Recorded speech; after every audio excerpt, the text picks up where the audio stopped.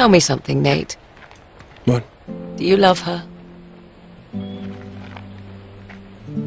Chloe, I'm sorry. No, it's fine. Really, it's all right. Just do yourself a favor, cowboy. Tell her.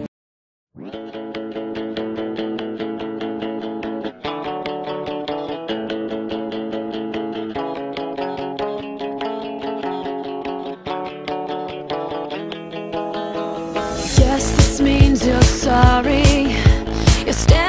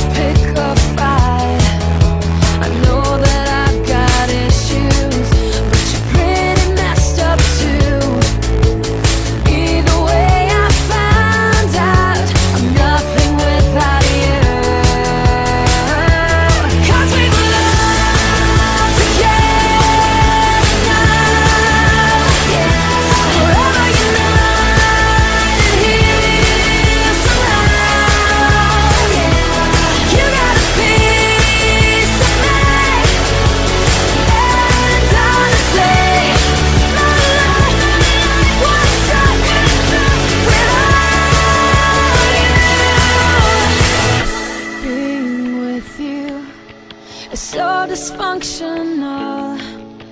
I really shouldn't miss you But I can't let you go.